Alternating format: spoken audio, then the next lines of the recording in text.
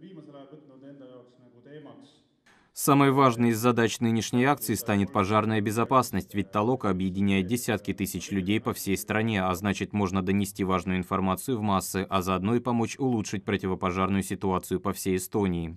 Вообще же жителям страны уже больше не нужно объяснять, что означает слово «толока». Восемь лет назад возродилась эта старинная традиция, когда все деревни по весне убирали родную улицу, ближайший лес, а то и строили дом для какого-то из односельчан.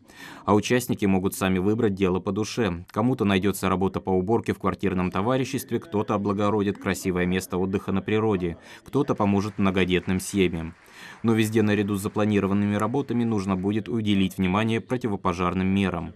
Очистка дороги для спасательного экипажа, проверка топки, очистка труб от сажи, установка или осмотр дымового датчика и другие важные меры существенно повысят пожарную безопасность как в жилых домах, так и в общественных местах и зданиях.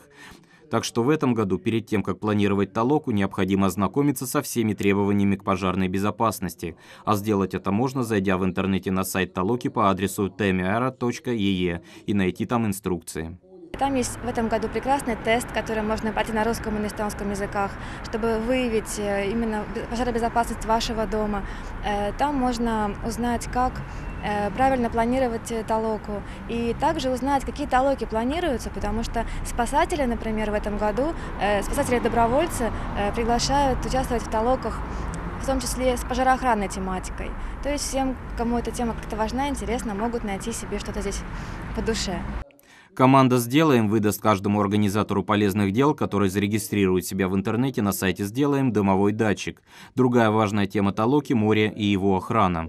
Пришли на сегодняшнюю пресс-конференцию, посвященную будущей Толоки, представители морского музея, поскольку в этом году у него юбилей. Ему исполняется 80 лет. А это хороший повод для участников Толоки обратить внимание на уборку мусора, скопившегося на морском побережье. В этом году мы хотим э, подкинуть такую идею, что если что-то хорошее хочете сделать, но не знаете, что именно, организуйте уборку побережья. И обязательно, что бы вы ни организовывали, связывайтесь с местным управлением, э, консультируйтесь, потому что э, те же деревья сажать так просто тоже в городе не удастся. Нужно знать, куда можно, куда нельзя э, сажать. И также важно э, организовать правильный вывоз мусора. Ведь мы, э, как организационная команда, организовывали вывоз мусора лишь единственный единожды, э, в 2008 году. С тех пор вывоз мусора лежит на плечах организаторов полезных дел или толок. И о том, как правильно организовать мероприятие, читайте, пожалуйста, на tmara.ee. По словам организаторов Дня полезных дел, в прошлом году было проведено 1754 толоки, в которых приняло участие свыше 45 тысяч человек, или 3,5% от общего числа жителей страны, что показывает всевозрастающую готовность людей к волонтерской деятельности. В этом году участники смогут зарегистрироваться в интернете, начиная с 13 апреля, поскольку к этому времени уже ожидается появление списка будущих полезных мероприятий.